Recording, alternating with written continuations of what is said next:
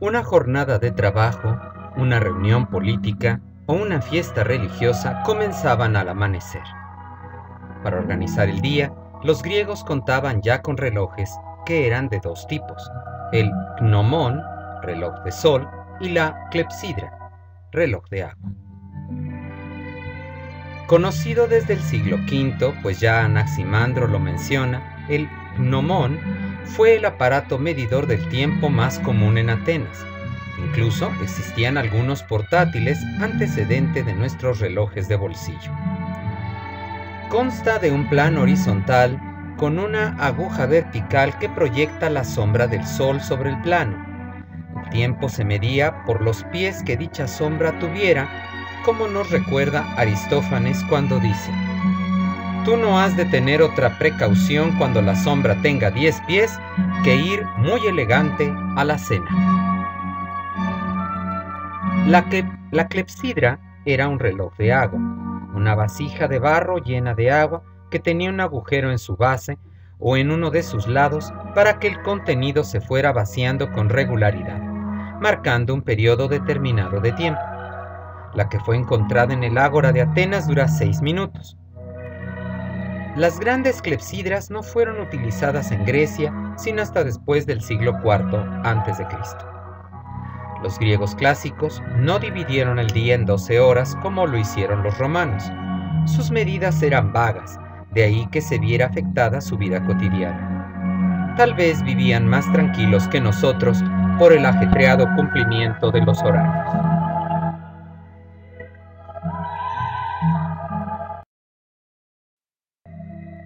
Los griegos todos eran conocidos por su sobriedad y los atenienses por frugales en el comer.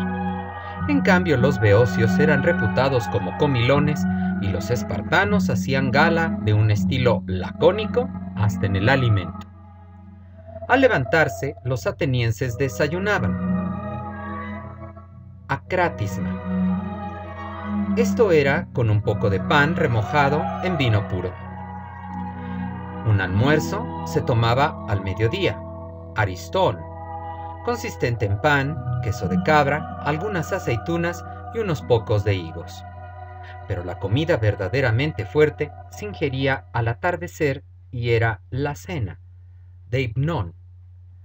Todo alimento sólido que se acompaña con pan es denominado opson. El pan blanco de trigo era cocido y a veces empleado a manera de plato del opson o como utensilio para comer, algo así como lo que ocurre en México con la tortilla. Al opson lo integraban legumbres, leguminosas, derivados de leche y rara vez carne.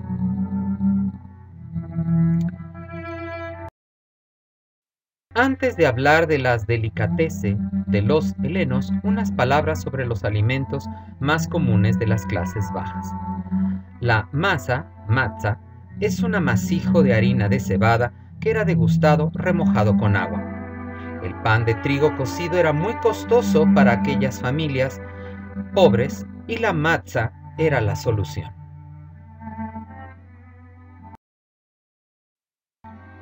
Los purés de lentejas o de habas, los ajos y las cebollas en abundancia, las indispensables aceitunas y el queso de cabra solían constituir los alimentos de los que menos tenían.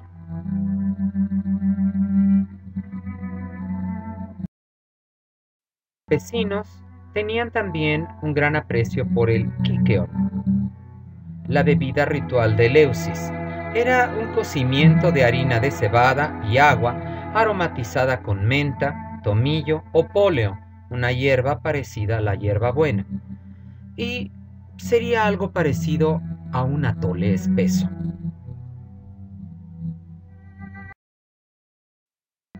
Las legumbres que a menudo se preparaban en las ensaladas eran las comunes, lechuga, rábano, puerro, pepino y aderezadas con aceite de oliva y hierbas aromáticas. No obstante, las legumbres eran escasas en la ciudad y su costo era alto. Las cebollas, los ajos y por supuesto las aceitunas que adoraban eran económicas, abundantes y muy, muy consumidos.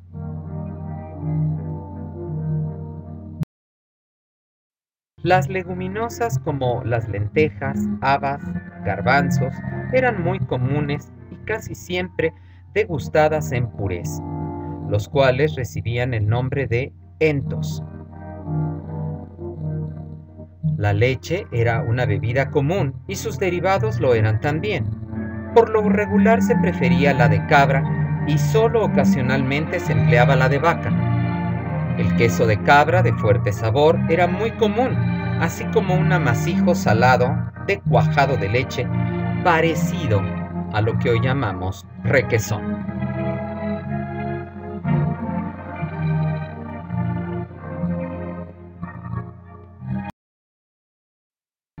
El pescado marino y los mariscos eran, como lo son ahora, parte importante de la dieta ateniense. Algunas especies eran muy costosas, como el atún, y rara vez figuraban en la mesa de los pobres. Cualquier incremento de las sardinas o anchoas en el mercado del puerto de Falero ponían a temblar a todos los pobres de Atenas. La carne, aún la más barata, que era la del cerdo, casi nunca era consumida, tal vez solo durante alguna fiesta religiosa. Si llegaban a tener suerte, completarían su dieta con frutas secas como las nueces o frescas como las uvas y por supuesto con las hortalizas.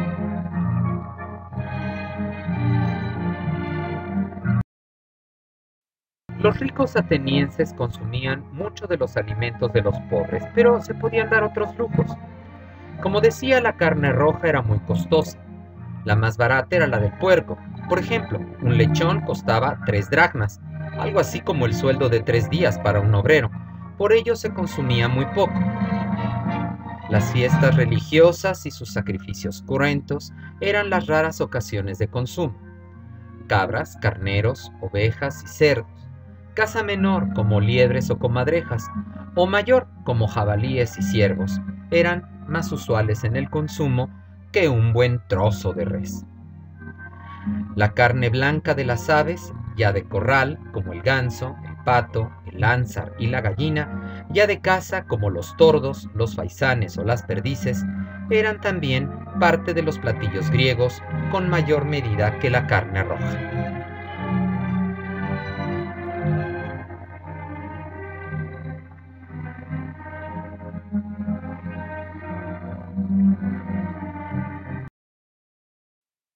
La carne de pescado, por su parte, resultaba no solo la más económica, sino la más abundante. Los pescados de agua salada eran más baratos que los de agua dulce y por ello estos últimos eran más apreciados.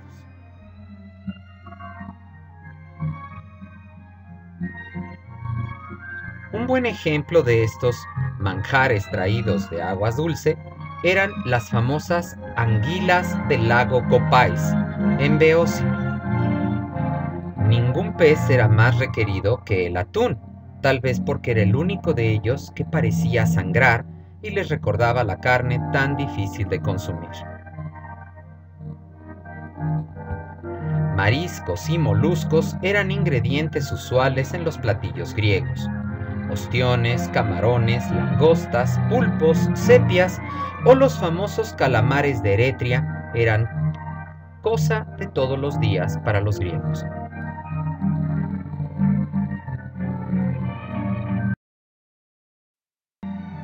Las carnes se cocían, guisaban, asaban o freían. Se les aderezaba y combinaba con diferentes guarniciones y se les conservaba en salazón, salmuera o ahumados.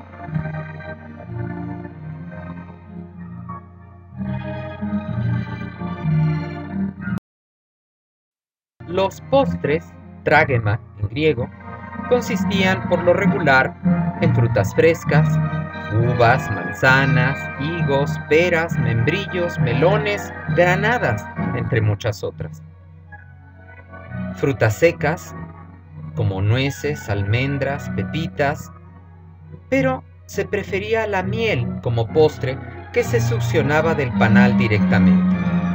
No faltaba quien bañara con miel su fruta o la untara en un pan. Así también no escaseaban los pastelillos de miel o de sésamo, el ajonjolí, semejantes a nuestras palanquetas de amaranto, el cual no era desconocido tampoco.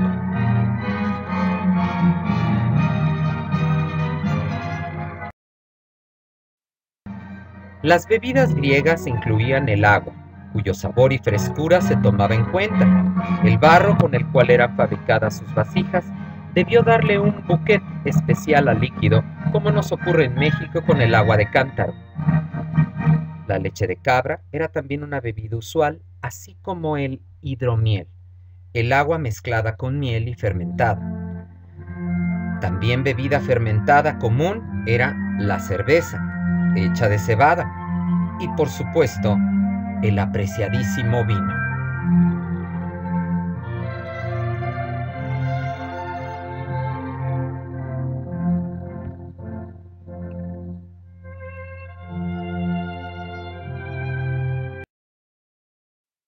Solo el bárbaro o el rústico bebían vino puro. La fermentación se llevaba a cabo luego de haber machacado las uvas en una cuba con los pies y de aplastar el resultado en una prensa. El mosto era vaciado en una jarra larga que se angostaba en la base. Esta se depositaba bajo tierra en una celda especial, dejándola sin tapar por un año para una fermentación lenta. Solo los vinos inferiores eran fermentados por menos tiempo. Normalmente se mezclaba un tanto de vino en dos tantos de agua. El agua podía ser caliente o fría dependiendo del clima que reinara, ya para que el vino calentara o bien refrescara. Incluso se llegó a emplear nieve cerniendo el vino sobre un sedazo que contuviera el helado ingrediente. Para darle fuerza y sabor, bouquet, se le podía agregar arcilla, yeso, mármol, resina o agua de mar. Había variados tipos de vino en Grecia. El vino meloso, el resinoso, el mosto cocido conocido como vino de los pobres, que también era vino de los esclavos, así como uno simple mezclado de agua con el prensado de las uvas. También existían vinos de sabores, y según los estudiosos se han conservado más de 50 nombres. Se les agregaba especias como el tomillo, la menta o la canela flores como el mirto, el nardo o la rosa, resinas de madera como el pino o el ciprés, frutas como las manzanas, las peras, los dátiles, las moras o los higos. La lista sería muy grande. El vino rojo oscuro, el tinto, era considerado el más fuerte. El blanco era ligero y poco embriagante, y el ambarino era considerado el más digestivo. Lo más común era colar el vino en un sedazo, el que como vimos podía contener nieve para enfriarlo.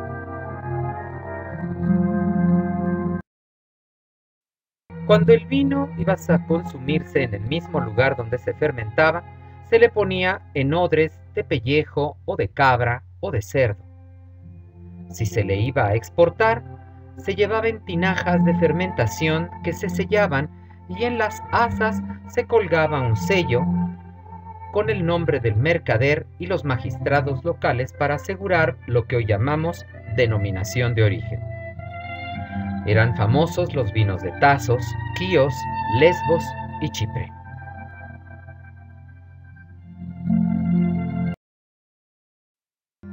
Los griegos desconocían el tenedor, pero sí utilizaban la cuchara y el cuchillo, aunque no de forma individual, ya que la carne era traída cortada en trozos y en pinchos, semejante a nuestras brochetas. Si bien utilizaban el pan como plato, también contaban con los de arcilla o metal. Utilizaban cubiletes de barro como vasos, aunque conocían el cristal, pero su costo lo hacía inaccesible, y los que poseían vasos y jarras de este solo los empleaban en grandes ocasiones la cocina los trastos eran de lo más variados. Cucharones, calderos, coladores, morteros, espumaderas, cuchillos y un largo etcétera. Las mujeres eran ordinariamente las cocineras, pero desde el siglo V aparecen los cocineros y pasteleros de profesión. Platón habla de tratados culinarios como el de Ceranión de Sicilia, que, por desgracia, no llegaron a nosotros.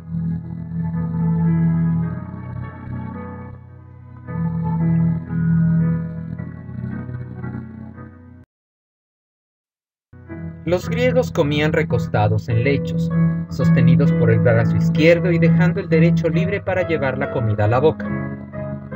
Las mujeres y los niños comían sentados, usualmente a los pies del lecho del padre o marido. Cada comensal tenía su mesa donde se distribuían sus platillos.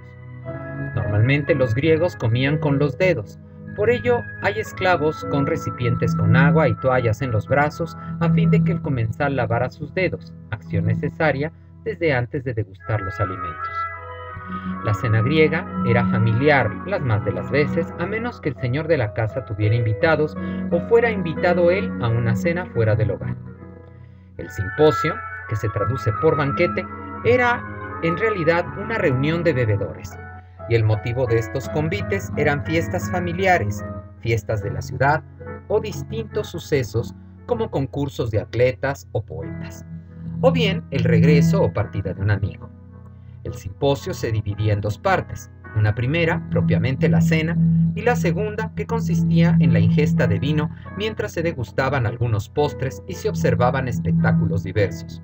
Se discutían temas muchos o se realizaban juegos divertidos.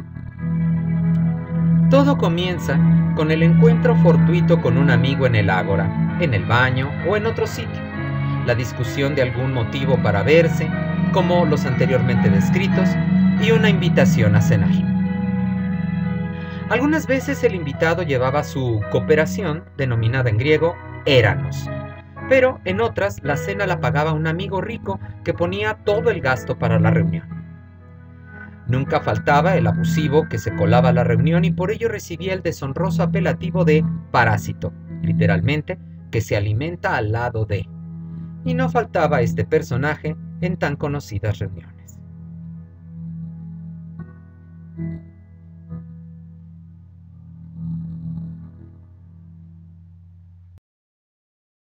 Cuando cae el sol, van llegando los invitados. Un esclavo lava sus pies y luego se introduce al comensal en el andreion o sala del simposio.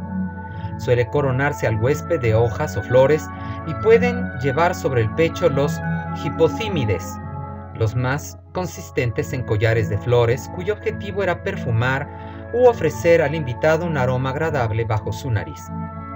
El huésped se extiende sobre el lecho y le acomodan almohadones para quedar con la espalda semi enderezada. La distribución de los lechos y de los convidados en estos era variable. Por lo regular había dos personajes por lecho, quedando uno frente al otro, aunque había excepciones, y de acuerdo a su importancia era la cercanía con el dueño de la casa. Las pequeñas mesas portátiles, ya redondas, ya cuadradas, se colocaban junto a los lechos y ahí se distribuían las viandas. Instalados, los invitados procedían a lavarse las manos en los aguamaniles que los esclavos les preparaban y les distribuían los própama, una copa de vino aromatizado que se bebía a la redonda, es decir, se pasaba de mano en mano bebiendo solo un sorbo. No hay servilletas. Los invitados se secaban con bolas de migas que luego arrojaban, junto con otros desperdicios, al suelo, mismo que era limpiado por los esclavos si es que los perros de la casa no lo comían antes, pues era común que se les dejara husmear mientras ocurría el banquete. El simposio comienza con la libación a los dioses y a ese momento llegan solo aquellos que fueron invitados también al simposio. La libación principal es a Dioniso o bien a la divinidad del hogar, genio de la familia. Una segunda libación se hace a todos los dioses y la tercera es para Zeus Soter, Zeus Salvador. La libación consiste en derramar algunas gotas de vino antes de beber la primera copa. Echando suerte se designa un simposiarca, cuya función es fijar las proporciones de la mezcla del vino y decidir el número de copas que beberá cada invitado. Se acostumbraba a beber por turno a la salud de cada uno. Si alguien desobedece al simposiarca, deberá cumplir un castigo. Bromas que consistían en bailar desnudo, cargar a una flautista en torno del salón y ridiculizaciones por el estilo. La música era imprescindible y solía haber más de un músico en el salón. Altos pebeteros arrojaban sus aromas perfumados que embriagaban tanto como el vino. Mientras se bebe, se degustan platos dulces y frutas secas que ayuden a la sed y por tanto a la necesidad de vino, algo parecido a las actuales botanas. En algunos simposios, los más caros por supuesto, se contrataban cantantes, músicos, bailarines, contorsionistas, prestidigitadores y toda clase de artistas. En otros, los propios invitados hacían gala de sus talentos y en otros se prefería la palabra, pero no de forma sistemática, como nos los presenta Platón, sino juegos de ingenio, de habilidad, enigmas y charadas.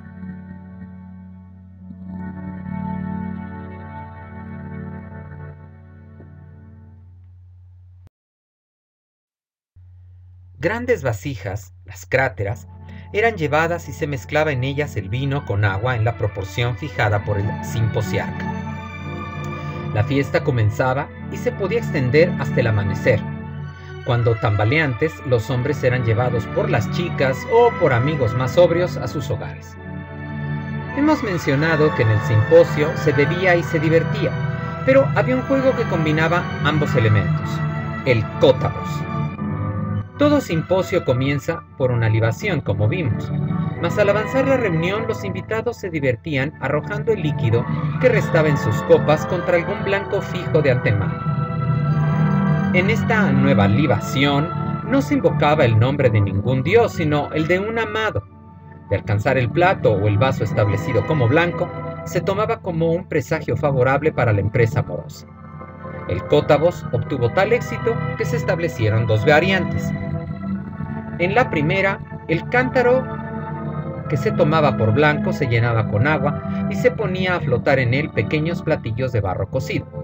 El jugador debía tener la suficiente puntería para hacer zozobrar el platillo con las heces de su copa.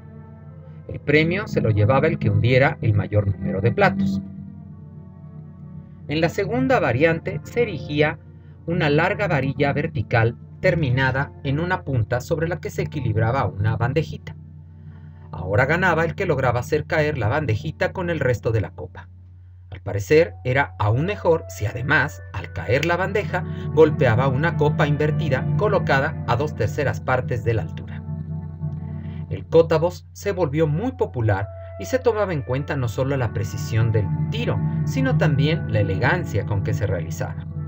El premio consistía en manzanas, huevos, pasteles, sandalias, collares, copas, balones o hasta el beso de la persona amada. El juego se comenzó a practicar fuera del simposio como una más de las diversiones a las que se entregaba a un griego en ratos de ocio.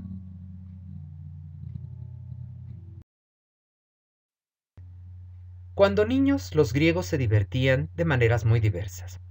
Había juegos de manos, los niños y las niñas griegas se divertían con palmadas rítmicas. También se divertían con el hoy llamado salto del burro o burro castigado, y con un juego que los griegos denominaban efedrismos, donde un chiquillo llevaba a otro a cuestas, aunque no se sabe si para jugar carreras o para luchar a la manera del conocido juego mexicano de caballazos. Había juegos de habilidad, los pequeños griegos jugaban con el trompo y con el yoyo, siendo estos de madera o metal. Jugaban también a las nueces o bolitas, muy semejantes a nuestras canicas, pues se realizaban tiros contra tres o más nueces o bolitas dispuestas en pirámide, y de lograrse el tiro se ganaban las nueces como premio. Una segunda variante era denominada homilla o delta, en la cual se trazaba un círculo o un triángulo intentando que la nuez quedara dentro del círculo al arrojarse. El que lo consiguiera se apoderaba de todas las nueces en juego. La última variante consistía en enterrar un vaso en el suelo o hacer un hoyito, y el juego consistía en introducir la nuez en él. Aquel que lograba obtenía todas las nueces de los que habían fallado en su intento. Otro juego de habilidad era en el que se trazaba una línea en el suelo y desde allí se arrojaba un tejo de cerámica o piedra, y que ganaba el que conseguía el tiro más lejano, una variante de lo que hoy se denomina en México rayuela. El juego del aro consistía en hacer girar un aro llevándolo con la mano o con una horca.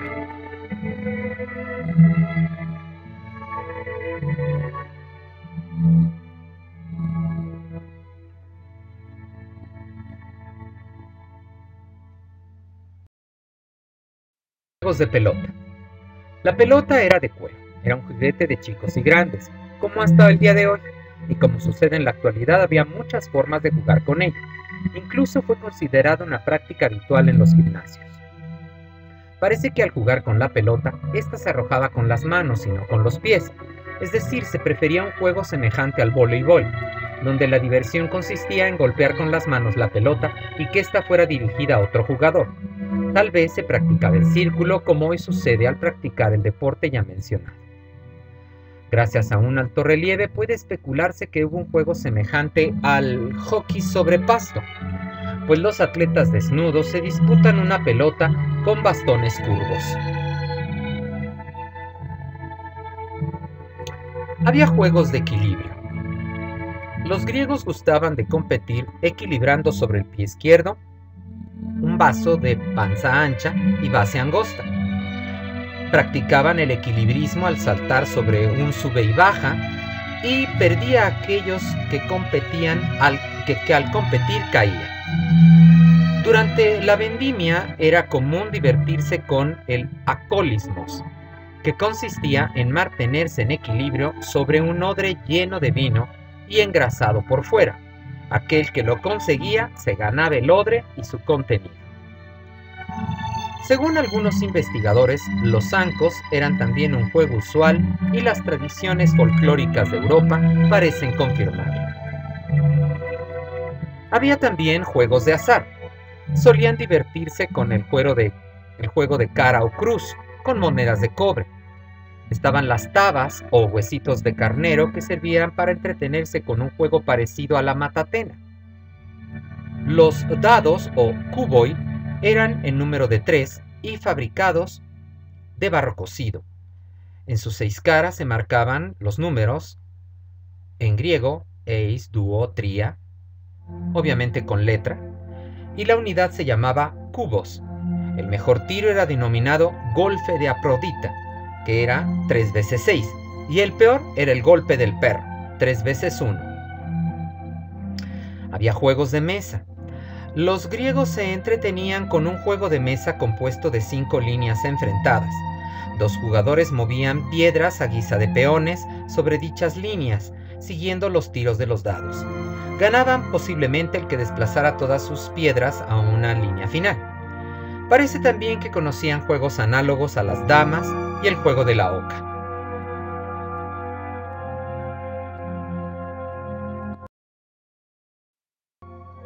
Otras diversiones consistían en una simple charla en el ágora, ya fuera al peluquero o en los talleres o en las tiendas. Eran comunes los espectáculos callejeros a lo largo del ágora, mimos, bailarines, prestidigitadores, payasos, titiriteros, teatros de sombras como los de Oriente, a más de los grandes espectáculos como el teatro y las competencias de canto en el Odeón. Los ricos encontraban solaz en la cacería. Aunque en la Grecia clásica no quedaban casi fieras en las cercanías del Ática, sí disfrutaban dando caza a jabalíes, lobos, ciervos e innumerables liebres, perdices y codornices. Se practicaba tanto la cacería a muerte como la de presa viva, utilizando para ello trampas de lazo y de foso. En esta última se, se cavaba un hoyo y se clavaba en el centro del mismo un poste, donde se ataba un corderito que sirviera de señuelo. Una vez que la fiera caía en el foso, se descendía una jaula con un cebo para que entrara la bestia, se cerraba y se izaba. El arco, la honda, el puñal, la jabalina, el hacha y la maza eran armas habituales para la cacería. También se empleaba un bastón corrientemente para la cacería de liebre. Esta era perseguida por un perro hacia una red tendida para capturarla y luego le daban muerte a palos. Los perros, más que compañeros, eran guardianes y cazadores, utilizándolos como cobradores o para el ajeo, es decir, la persecución de las fieras. Los más famosos eran los mastines y sabuesos de Laconia.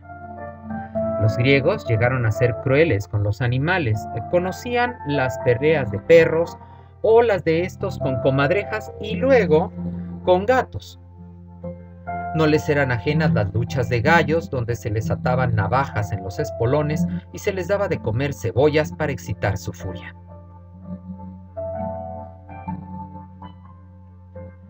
Entretención y deporte de los pobres era la pesca, a más de que para muchos era su medio de vida. De este hecho se desprende que los aristócratas la despreciaran. Había pesca con caña, con línea, con redes, con arpón y con nasa. La pesca con línea y caña tiene el mismo principio. Se ata una carnada, insectos o lombrices para el pez pequeño o un pez pequeño para los de mayor tamaño. Estas a un anzuelo. Un corcho se colocaba a manera de flotador. La línea estaba fabricada con lino o crin de caballo. Podía unirse a una caña y era común sentarse a esperar a que picaran, y parece que también conocían las carnadas falsas hechas de lana roja. La nasa es un cesto de mimbre ancho y redondo, o bien alargado. Varillas aceradas impedían salir a los peces una vez que entraban. Este método era usado para la pesca de mariscos como las langostas y de moluscos como los pulpos, quienes buscan refugios oscuros, y por ello los griegos solían descender ánforas donde los animales se refugiaban para luego ser izados hacia la superficie. Las redes eran tan variadas como en la actualidad. El esparvel era la red en forma de embudo que se arrojaba y una vez extendida se le cierra con la captura del día. La traina era la red de arrastre, de forma rectangular en donde puede participar varias barcas y se lleva a los cardúmenes a un sitio especial para luego ser sacados a la superficie. Excelentes buceadores, los griegos cazaban con arpón o desprendían erizos o esponjas. Se utilizaba una combinación con la red para cazar el apreciado atún. Con la red de arrastre se acorralaba los peces espantándolos con tambores o piedras que se arrojaban al agua. Una vez acorralados, se les arponeaba o trinchaba con las afiladas puntas de un tridente, para luego subirlos a las barcazas, como siguen haciendo en el día de hoy en todo el Mediterráneo.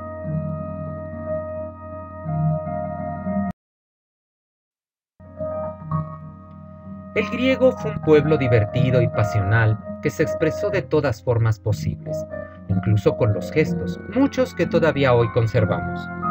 Los griegos afirmaban con la cabeza como nosotros, pero negaban echándola hacia atrás. Se saludaban levantando la mano derecha, pues el apretón de mano solo se usaba al sellar un compromiso solemne y nunca se besaban en la mejilla como saludo. Aprobaban algo con aplausos y clamores y desaprobaban con silbidos y gritos discordantes. Para manifestar alegría, castañeteaban los dedos de las manos derechas en alto. Si la intención era insultar, se levantaba el dedo medio de la mano derecha con la intención que se hace hoy en día también. Se escupía para alejar la mala suerte, mientras que el estornudo era un presagio favorable.